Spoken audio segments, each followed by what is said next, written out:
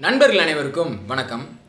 அண்ணாவுக்கு எம்ஜிஆர்ரா அண்ணனுக்கு நீடா அப்படின்னு சொல்கிற மாதிரி இந்தியாவோட மித்த எல்லா நாட்டினுடைய வெளியுறவு கொள்கைகளுக்கும் வந்துட்டு எக்ஸ்டர்னல் அஃபேர்ஸ் அங்கே இருக்கிற ஃபாரின் மினிஸ்டர் நம்மளுடைய ஃபாரின் மினிஸ்டர் வந்துட்டு இந்த விஷயத்தெல்லாம் பார்த்துக்குவாங்க அப்படின்ற அந்த கண்ணோட்டம் இருக்கும். ஆனால் ஸ்ரீலங்காவை பொறுத்த மட்டில் நேஷ்னல் செக்யூரிட்டி அட்வைசர் தான் எல்லா விஷயத்துக்கும் பார்த்துக்கணுமோ? எல்லா விஷயத்தையும் வந்துட்டு என்ன நடக்குதுன்னு உற்று நோக்கணுமோ அதாவது நேஷனல் செக்யூரிட்டி அட்வைசர் பாதுகாப்பு ஆலோசகர் இப்போ வந்துட்டு அஜித் தோவல். இதுக்கு முன்னாடி நைன்டீன் எயிட்டிஸ்லேருந்து யார் இருந்தாங்களோ அவங்க அவங்கள நீங்கள் வந்துட்டு எடுத்துக்கலாம். ஸோ இவங்க தான் இந்தியாவோட ஸ்ரீலங்காவுடனான அந்த பாலிசியை ஷேப் பண்ணுறதுல கொள்கையை வடிவமைக்கிறதுல முக்கிய பங்காற்றுறாங்களோ? அப்படின்றது பெரும்பாலும் அரசியல் ச அரசியல் வட்டத்தில் பெரிய இடத்துல இருக்கவங்க எல்லாத்துக்குமே வந்து தெரியும். இது என்ன விஷயம்? நான் வந்துட்டு இப்போது ராவோட ஆப்ரேஷன்ஸ் இன் ஸ்ரீலங்கான்னு நான் போட்டிருக்கேன்.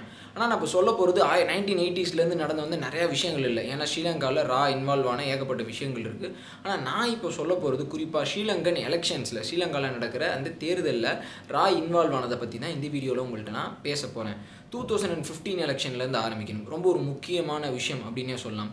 ஸோ எப்படி வந்து ஒரு நான் பாதுகாப்பு ஆலோசகர் வந்து ஒரு விஷயத்தில் இன்வால்வ் ஆகிறாருன்னா அப்போ ரா வந்து எந்த அளவுக்கு இன்வால்வ் ஆகிருக்கும் அப்படின்றது வந்துட்டு நீங்களே யோசிச்சுக்கணும் அப்படின்றத நான் உங்கள்கிட்ட நான் சொல்லிக்கிறேன்.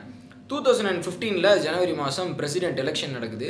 ராஜபக்ஷே ரெண்டு தடவை கண்டினியூஸாக ஜெயிச்சு ரொம்ப ஒரு கம்ஃபர்டபுள் பொசிஷனில் இருக்கிறாரு. மூணாவது தடவையும் நானே வந்துடுவேன் அப்படின்னு சொல்லிட்டு ரொம்ப ரொம்ப பீஸாக பீஸ்ஃபுல்லாக இருக்கிறாரு. ரொம்ப எந்தவித ஒரு பதட்டமும் இல்லாமல் இருக்கிறாரு. இன்ஃபேக்ட் அவங்களுடைய கான்ஸ்டியூஷனை கூட வந்துட்டு மாற்றி இருக்கிறாரு ரெண்டு தடவைக்கு மேலே வந்துட்டு ஒருத்தர் கண்டினியூஸாக பிரசிடெண்ட்டாக இருக்க முடியாது அப்படின்ற அவங்க இதில் இருக்குது கான்ஸ்டியூஷனில் இருக்குது ஆனால் அவர் வந்து அதையும் மாற்றி மூணாவதாக கண்டினியூஸாக இருக்கலாம் அப்படின்னு அவர் வந்துட்டு பண்ணியிருக்காருன்னா எந்தளவு கான்ஃபிடென்ஸோடு இருந்திருப்பார். ஆனால் பார்த்தா எலெக்ஷன் ரிசல்ட் வந்துட்டு அப்படி நடக்கலை. டூ தௌசண்ட் ஃபிஃப்டீன் ஜனவரியில் வந்து எலெக்ஷன் ரிசல்ட்டில் அப்படி நடக்கல. என்ன நடந்துருச்சு அப்படின்னு பார்த்துக்கிட்டிங்கன்னா சிறிசேனா அப்படின்றவர் வந்து அவங்களுடைய அந்த கூட்டணி கட்சி ஆப்போசிஷன் சைடில் இருக்க அந்த கூட்டணி கட்சி வந்து ஜெயிச்சிருச்சு. இது வந்து ராஜபக்சேக்கு வந்துட்டு ஒரு பெரிய ஷாக் என்னடா கம்ஃபர்டபுளாக ஜெயிச்சு போயிடுவோம் அப்படின்னு நினச்சி பார்த்தா இவங்க வந்து ஜெயிச்சிட்டாங்களே அப்படின்ற அந்த ஒரு பயங்கரமான ஒரு அதிர்ச்சி. யார் இந்த சிறிசேனா? அவர் எப்படி ஜெயிச்சாரு? மக்கள் பெருசும் எக்ஸ்பெக்ட் பண்ணாங்களா அப்படின்னு பார்த்துக்கிட்டிங்கன்னா சிறிசேனா அப்படின்றவர் ராஜபக்சேவனுடைய கேபினெட்டில் இருந்தவர். அவருடைய நெருங்கிய நண்பர். நவம்பர் மாதம் சிறி ராஜபக்சேவோட சைட்லேருந்து opposition side United opposition side வந்துட்டு போயிடுறாரு. ஸோ சிறிசேனாவுக்கு மக்கள் மத்தியில் ஒரு நல்ல ரெப்புடேஷன் இருக்குது அதுக்கு முன்னாடி அந்த யுனைடெட் அந்த ஆப்போசிஷனில் அந்த எதிர்கட்சி கூட்டணியில் ரணில் விக்ரமசிங்கே தான் பிரசிடென்ட் ஆகணும். ஆவார். அந்த பொசிஷனில் இருக்கார் அப்படின்ற அந்த திங்கிங் எல்லார் மத்தியுமே இருந்தது. ஆனால் திடீர்னு பார்த்தா சிறிசேனா வந்துட்டு பிரசிடென்ட் ஆகிட்டார் சிறிசேனாவை பிரசிடென்ட் எலெக்ஷனில் வந்துட்டு கண்டெஸ்ட் பண்ண வைக்கிறாங்க. ஸோ என்ன காரணம்? ஏன் வந்து சிறிசேனா அப்படின்ற முக்கியமான ஒருத்தர் அவர் கூட இருக்கிற இன்னும் முக்கியமான பொசிஷன்ஸில் இருக்கிறவங்க ராஜபக்சே கட்சியை விட்டு ரணில் விக்ரமசிங்கே சைட் போனாங்க. அது மட்டும் இல்லாமல் ரணில் விக்ரமசிங்கே அவருடைய பிரசிடென்ட் போஸ்ட்டை சிறிசேனாவுக்கு ஏன் கொடுத்தாரு? இதுக்கெல்லாம் முக்கியமான காரணம் ரா அப்படின்ற அந்த ஒரு ஆன்சர் இந்தியாவோட research and analysis wing so ரா என்ன இன்வால்வ் ஆயிருக்காங்க அப்படின்னு பார்த்துக்கிட்டிங்கன்னா என்ன பண்ணியிருக்காங்க ராவோட முக்கியமான ஒரு ஏஜென்ட் என்ன பண்ணியிருக்காரு அப்படின்னு பார்த்துக்கிட்டிங்கன்னா ஸ்ரீலங்காவில் அந்த சமயத்தில் சிறிசேனாட்ட போய் பேசியிருக்கிறார் ரணில் விக்ரமசிங்கிட்ட போய் பேசியிருக்கிறாரு. நீங்கள்லாம் யுனைட்டடாக இருந்தால் தான் நீங்கள் ஜெயிக்க முடியும். இல்லாட்டி ராஜபக்ஷ ஈஸியாக ஜெயிச்சிருவார்.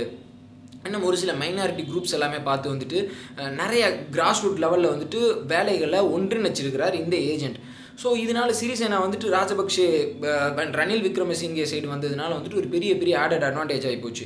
ரணில் விக்ரமசிங்கேவையும் வந்துட்டு இந்த ரா ஏஜென்ட் வந்து நிறையா தடவை போய் பார்த்துருக்கிறத வந்துட்டு சொல்லப்படுது. ஸோ கடைசியில் ரணில் விக்ரமசிங்கே வந்துட்டு அந்த ஒரு மைண்ட் செட்டுக்கு வந்துட்டார். ஸோ இந்த ராஜதந்திர யுக்தி வந்து எலெக்ஷனில் பயங்கரமாக கை கொடுத்துருக்கு கை கொடுத்துருக்குது. ஏன்னா சிறிசேனாவும் மெஜாரிட்டி அந்த புத்திஸ்ட் எத்தனிக் குரூப்ல இருந்து வந்த ஒருத்தர். ஸோ இந்த மாதிரி மெஜாரிட்டி சப்போர்ட்டுங்க வருது மைனாரிட்டி சப்போர்ட்டும் வருது. இந்த மாதிரியான ஒரு ஃப்ரேம் ஒர்க்கில் ராஜபக்ஷேவை ஒரு யுக்தியில் வீழ்த்திடுறாங்க.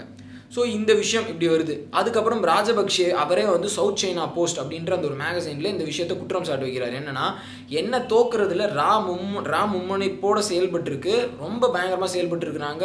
என்னை வந்துட்டு மெஜாரிட்டியிலேருந்து இது பண்ணி என்னை வந்துட்டு ஆட்சியிலேருந்து நீக்கிட்டாங்க அப்படின்னு சொல்லிட்டு இது வந்து ராஜபக்ஷன்னு சொல்லியிருக்காரு. எதுக்காண்டி அவங்க இப்படி பண்ணுறாங்க அந்த அது சம்மந்தமாக வந்துட்டு அவர் ஒரு பேட்டி கொடுத்துருக்காரு ஸோ எதுக்காண்டி இந்தியா வந்து இந்த விஷயத்தை பண்ணாங்க? ரா ஏஜென்ட் வந்து இந்த விஷயத்தை பண்ணார் அப்படின்னு கேட்டுக்கிட்டிங்கன்னா ஸ்ரீலங்கா சைனா சைடு ரொம்ப டீவியேட் ஆகி போகுது. ரொம்ப ரொம்ப ரொம்ப டீவியேட் ஆகி போகுது. அதாவது இந்தியாவோட ஸ்பியர் ஆஃப் இன்ஃப்ளூயன்ஸ் நம்மளோட ஆதிக்கத்திலிருந்து வந்துட்டு வெளியேறி போகிறாங்க அப்படின்ற அந்த கேள்வி எல்லார் மத்தியிலும் ரொம்ப நாளாக எழுந்து வந்துட்டு இருந்தது. குறிப்பாக அந்த ராஜபக்ஷே கவர்மெண்ட் ரொம்ப ரொம்ப ரொம்ப ரொம்ப ரொம்ப ஸ்ரீலங்காவோட நெருங்கி போக ஆரம்பிச்சிட்டாரு.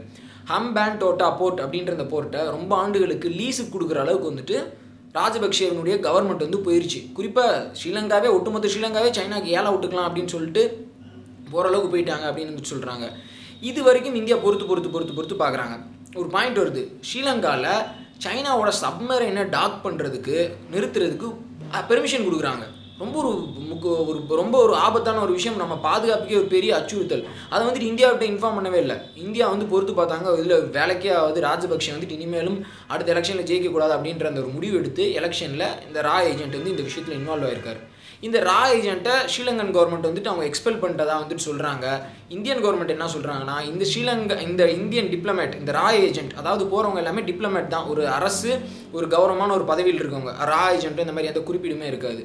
ஸோ அவர் வந்து அவரோட பதவி முடிஞ்சிருச்சு. மூணு வருஷம் பீரியட் முடிஞ்சிருச்சு. அதனால் அவர் திருப்பி வராரு அப்படின்றது இந்தியா வந்துட்டு சொல்கிற இந்த விஷயம். சரி இப்போ முடிஞ்சிருச்சு.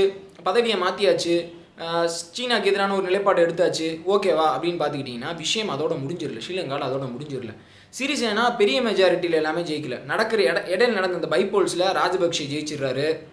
அது மட்டும் இல்லாமல் அரசாங்கத்தில் நிதி பற்றாக்குறை ஒரு சில அரசாங்க திட்டங்களை செயல்படுத்த வேண்டிய விஷயம் நெருக்கடி இன்னும் ஒரு சில சைட்லேருந்து நெருக்கடி. அதனால அந்த ஹம்பேண்டோட்டா போர்ட் அந்த விஷயம் அந்த சைனா வந்துட்டு முதலீடு பண்ண அந்த விஷயத்தை இடையில கொஞ்ச நாள் நிறுத்தி வச்சுருக்காங்க. அதை திருப்பியும் சிறிசேனாவுடைய சிறிசேனாவோட கவர்மெண்ட் வந்து திருப்பி தொடங்குறாங்க. அது திருப்பி வந்துட்டு நம்ம நம்ம நினச்ச ஒரு விஷயம் பண்ணுறோம் திருப்பி பாரு நம்ம இது பண்ண வரையும் வந்துட்டு வேற ஒரு விஷயத்த பண்ணுறாரு அப்படின்ற ஒரு பெரிய கேள்விக்குறியை வந்துட்டு எழுப்புது. திருப்பி பழையபடிக்கு வந்துட்டு நம்மளோட இன்வால்மெண்ட் ஒரு சில விஷயங்கள் அப்படியே பிளா பிளா பிளா அப்படின்னு போயிட்டு இருக்கிற அந்த விஷயம் தான்.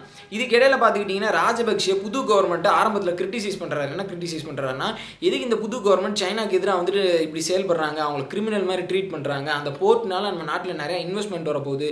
நிறையா இது வரப்போகுதுன்னு தான் வந்துட்டு நான் செஞ்சேன். இதெல்லாம் ஏன் இந்த புது கவர்மெண்ட் இப்படி பண்ணுறாங்க அப்படின்னு ஆரம்ப காலகட்டத்தில் ராஜபக்ஷே புது கவர்மெண்ட் வந்து குற்றச்சாட்டு வைக்கிறார். அதுக்கடுத்து ராஜபக்ஷே குற்றச்சாட்டு வைக்கல. அந்த புது கவர்மெண்ட் சிறிசேனா கவர்மெண்ட் இந்த ஒரு சில விஷயத்துக்கு வந்துட்டு ஒப்புதல் கொடுக்குறாங்க.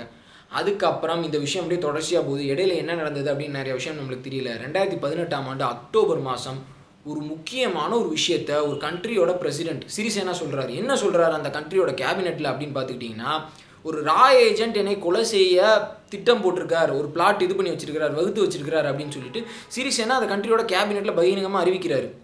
ஸோ ஒரு பிரசிடென்ட் ஒரு இன்னொரு நாட்டோட ராய் ஏஜென்ட் எனக்கு கொலை பண்ணுறாரு அப்படின்னு சொல்கிறது ஹிந்துவில் வந்துட்டு கோட் பண்ணுறாங்க இது ஒரு பெரிய நியூஸ் ஆகுது. ஹிந்துவில் சொன்னதையே வந்துட்டு எல்லா இடத்துலையுமே குறி குறிப்பிட்டு வந்துட்டு சொல்கிறாங்க இப்போ என்ன நடந்திருக்கு அப்படின்னு பார்த்துக்கிட்டிங்கன்னா இந்த ரா ஏஜென்ட் அதாவது ஒரு ரா ஏஜென்ட் வந்து இவருக்கு எதிராக வந்துட்டு இந்த மாதிரி ஒரு திட்டம் தீட்டியிருக்கிறார் அப்படின்ற விஷயம் தெரிய வருது கைது பண்ணுறாங்க ஆனால் அவருக்கு எதிராக ரணில் விக்ரமசிங்கேவினுடைய அரசாங்கம் சரியான நடவடிக்கை எடுக்கல. அதனால சிறிசேனா பிரசிடென்ட் வந்து ரணில் விக்ரமசிங்கே மேலே குற்றம் சாட்டுறாரு. நீங்கள் வந்து இந்த விஷயத்தை வந்து சரி வர கையாளல அப்படின்ற அந்த விஷயம் வந்து அடுத்தடுத்து பெரிய லெவலுக்கு வந்துட்டு போக ஆரம்பிக்குது. ரணில் விக்ரமசிங்கே மேலே நம்பிக்கை இல்லை அப்படின்னு சொல்லிட்டு இன்னும் ஒரு சில குற்றச்சாட்டுகளை சொல்லி ரணில் விக்ரமசிங்கேவை பிரைம் மினிஸ்டர் பதவியிலிருந்து சிறிசேனா நீக்கிறாரு. இப்போ வந்து சிறிசேனா திருப்பி பழையபடிக்கு ராஜபக்சேவோடய போயிட்ட மாதிரியான ஒரு சூழ்நிலை. ராய் ஏஜென்ட் மேலே குற்றம் சாட்டு வைக்கிறாரு ரணில் விக்ரமசிங்க இவங்கெல்லாம் ரணில் விக்ரமசிங்கே இவங்கெல்லாம் ஒரு பக்கம் அப்படின்னு சொல்லிட்டு குற்றச்சாட்டு வைக்கிறாரு. விஷயம் வந்து இப்படி போக ஆரம்பிக்குது.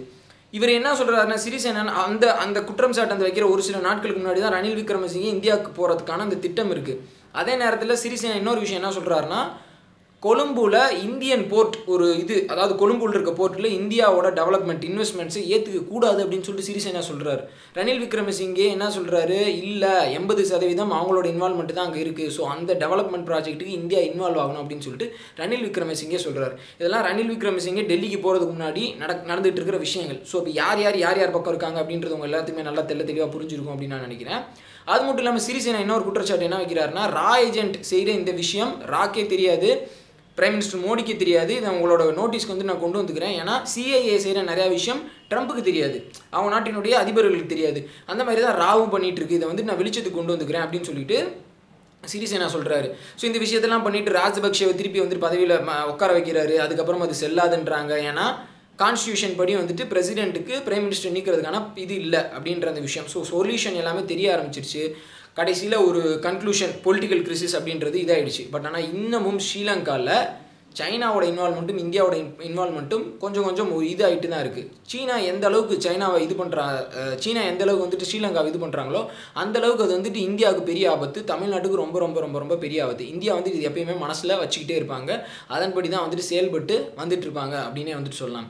ஸோ இப்போது டூ தௌசண்ட் அண்ட் செவன்டீனில் சைனா வந்து இந்தியா வான் பண்ணியிருந்தாங்க. எங்களுடைய தெற்காசிய கொள்கையில் தெற்காசிய கொள்கையில் இந்தியா தலையிட்டால் நாங்கள் பதிலுக்கு ஏதாவது நடவடிக்கைகள் எடுப்போம் அப்படின்னு சொல்லிட்டு சைனா வந்துட்டு ஸ்ரீலங்காவை ரெஃபர் பண்ணி வந்துட்டு சொல்லியிருந்தாங்க. ஸோ இந்த மாதிரிலாம் விஷயங்கள் வந்துட்டு போயிட்டுருக்கு.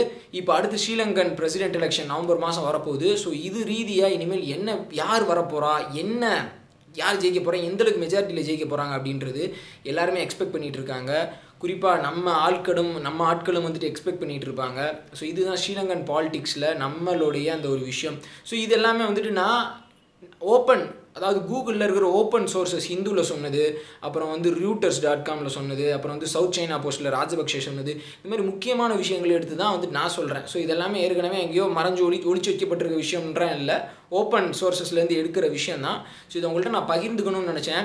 இது வந்து ஒரு சில விஷயங்கள் எல்லாமே ஒரு காலகட்டத்துக்கு அப்புறம் தான் தெரிய வரும். உடனே அந்த விஷயம் நடந்தப்போ வந்துட்டு அந்த விஷயத்தை யாருமே வெளியே சொல்ல வர மாட்டாங்க.